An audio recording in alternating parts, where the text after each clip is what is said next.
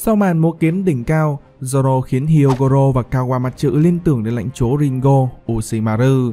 Thì ngay chapter 1024 này, Thanh Oda cho luôn một pha hồi tưởng về 20 năm trước, khi một samurai giống với miêu tả về Ushimaru bị giam giữ trong ngục tối. Theo đó, Yamato vì bộc phát Haki Bá Vương hạ gục đám lính bách thú cùng ước mơ trở thành Oden, cô bị nhốt chung với các tù nhân Wano. Tại đây, cuốn nhật ký hải trình Oden tiết lộ khiến các samurai quyết tâm liều mạng với Kaido, giải thoát cho Yamato với hy vọng có sự góp phần cho cuộc chiến trong tương lai. Hôm nay, mời anh em cùng Bì Tứ Hoàng tìm hiểu và phân tích chapter 1024 với tiêu đề Haki Bá Vương của Yamato, Ushimaru, cha của Zoro xuất hiện. Mở đầu chapter 1024, khung cảnh tầng 2 khi Usopp với thần thái gió vương, thanh niên mũi dài bước ra thuyết giảng đạo lý cho đám creep bách thú, cùng bộ môn chém gió lộn rào, Usopp cho chúng thấy ai mới là bố cái tầng 2 này khi hạ gục hai Toby Robbo, đồng thời dựa vào dư âm từ Haki Bá Vương của Big Mom đánh gục một vài tên lính. Ấy thế mà đám lính tưởng Usopp qua Haki Bá Vương lại còn một tay hạ gục Toby Robbo khiến chúng sợ té khói. Trong khi đó, Nami đã bắt được liên lạc với Frankie hỏi về tình hình chiến sự. Nhưng Frankie cũng giống như bao người khác, chẳng biết thứ gì đang xảy ra trên đỉnh đầu lâu, hoàn toàn mất liên lạc với Luffy, Momo và Shinobu. Việc các Toby Robbo bị đánh bại và phe đồng nát tự gia tăng lực lượng khiến tình hình bây giờ đang trở nên rất hỗn loạn. Đám lính băng bách thú các tầng như rắn mất đầu, chúng chỉ biết điên cuồng lao xuống sân khấu hỗ trợ King và Queen. Tuy nhiên, với lực lượng liên minh trận đầu khó có tên nào can thiệp vào trận đấu All Star được. Mặt khác, tại tầng 3, đang có một vụ cháy lớn sau khi Black Maria bị đánh bại, buộc Rook phải bế theo Robin bất tỉnh chạy trốn. Cũng phải thôi, như tớ đã nói tại video trước, việc sử dụng trạng thái quỷ đã khiến cô kiệt sức, không thể tiếp tục chiến đấu. Vừa chạy thoát khỏi đám lửa, Brook liền gọi thông báo tình hình chiến sự cho Jinbe tại tầng 4. Nhờ vào hoàn cảnh tầng 3 bị thiêu cháy khiến ông không thể xuống cùng câu nói Kaido đâu, có ai đang giữ trần hắn à?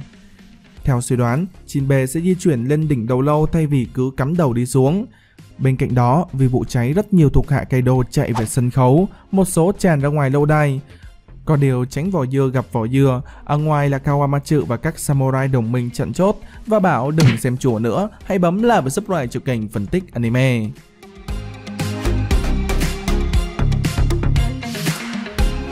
Trong khi đó trên đỉnh đầu lâu, tiếp tục cuộc chiến giữa hai cha con nhà Kaido. Máu đã đổ trên chiến trường, liên tục là những màn tung chiêu như phim Hồng Kông. Tuy nhiên, Yamato đối sức hơn rất nhiều bởi Kaido quá mạnh, hắn tung nhiều sát chiêu nhắm thẳng vào cô con gái. Mà tầm này cha con gì nữa? Kaido đang có ý định thành lý môn hộ, một tay giết chết đứa con tránh hậu họa về sau. Vì cái tội thích Oden, làm samurai và không nghe lời. Dù đứng trước cái chết, Yamato vẫn cảm phục Oden đi theo giấc mơ tự do ra khơi và mở cửa Wano. Quay trở lại 20 năm trước, khi Yamato mới là một cô bé Loli Cute Fumeque thích uống đá me, cô được mệnh danh là công chúa quỷ. Bằng tài năng thiên bẩm, Yamato bộc phát Haki Bá Vương hạ gục hàng chục tên lính.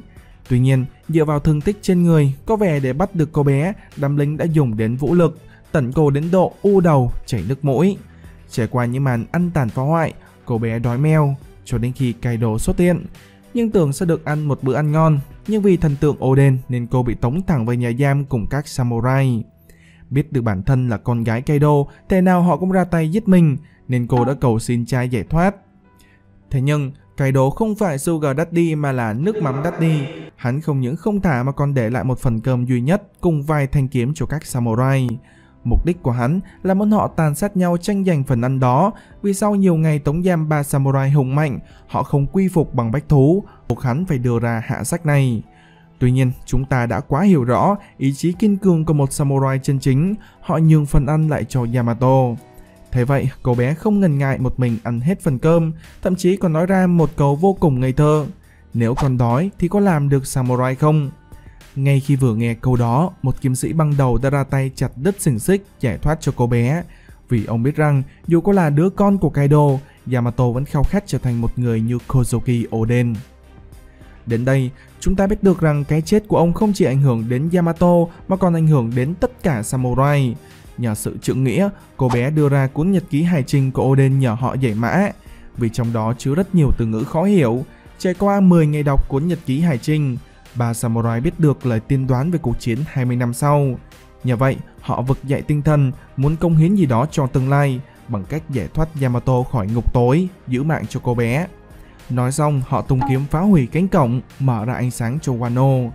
Nhớ lại những gì đã trải qua, cô tiếp tục đứng lên vung chùy trao đổi lôi ô bắt quái với cha mình và kết thúc chapter 1024. Tiếp theo, chúng ta sẽ chuyển qua phần phân tích. Trước tiên về samurai chột mắt tớ nói ở trên, dựa vào khung cảnh ông cởi áo chuẩn bị cùng hai samurai khác phá hủy cánh cổng, thì hẳn ai cũng đoán ra được người này thuộc gia tộc Shimotsuki.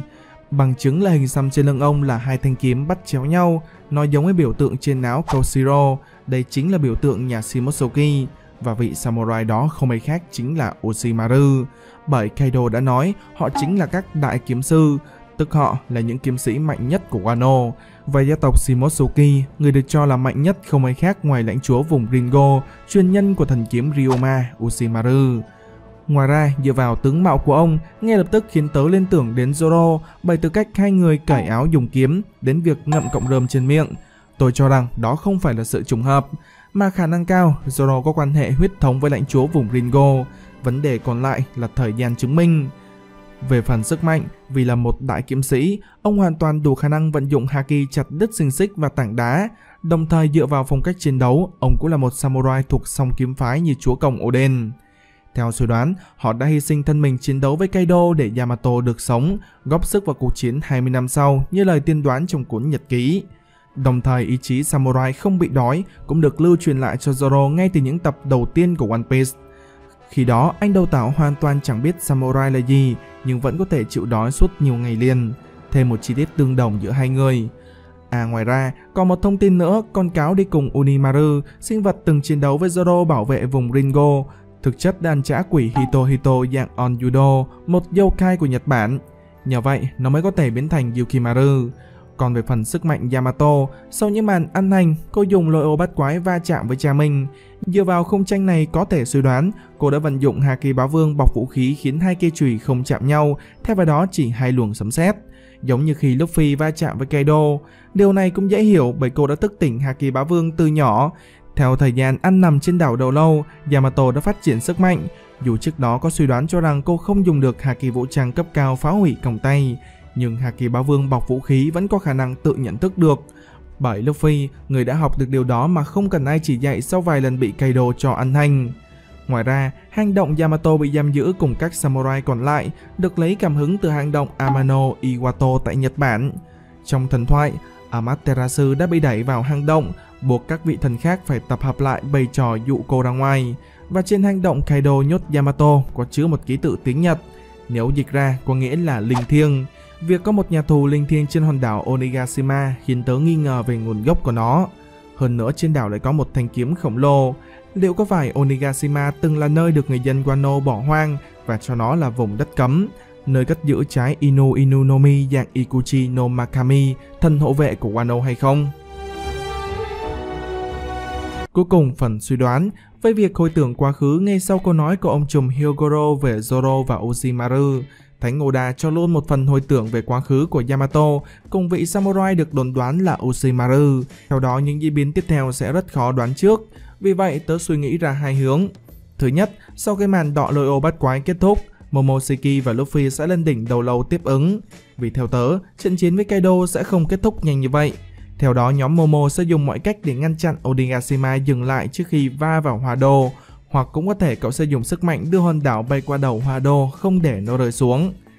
Viễn cảnh thứ hai, Thánh Oda sẽ dành đất diễn cho hai anh, Đầu Tảo và Lông Mày Xoắn chiến đấu với hai Okaban, đồng thời tuyên bố luôn kết quả trận chiến giữa Inuarashi và Jack, Nekomamushi và Perospero. Còn về thân phận Zoro, nhiều khả năng khi trận chiến kết thúc, anh mới được xác nhận có phải là con cháu nhà Shimotsuki hay không. Tuy nhiên, manh mối nhận gia đình cũng khá mơ hồ bởi tớ không nghĩ ra cách nào để Dỗ nhận biết được sự thật này, trừ khi Hiyori trong thời gian ẩn nấp tìm được di thư hay bất cứ thứ gì Ushimaru để lại. Tóm lại, vẫn còn rất nhiều bí ẩn xoay quanh câu chuyện tại Wano. Có thể Oda sẽ làm một vài màn hồi tưởng nữa tiết lộ một số thông tin cho chúng ta biết ở ngay chapter sau. Việc làm một màn flashback khiến rất nhiều người không ngờ về ba samurai bị giam giữ cùng Yamato. Ok, Vừa rồi chúng ta đã cùng tìm hiểu và phân tích chapter 1024 của One Piece với tiêu đề Haki Bá Vương của Yamato, Ushimaru, cha của Zoro xuất hiện. Như mọi khi, bọn tớ rất vui khi được ngồi đếm những cái like, share và đăng ký kênh của các bạn. Cũng đừng quên nhấn vào nút chuông nhỏ bên cạnh để không bỏ lỡ bất kỳ video nào chúng mình tung ra trong tương lai. Tớ là Bi Huỳnh, xin chào và hẹn gặp lại trong video tiếp theo. Bye bye!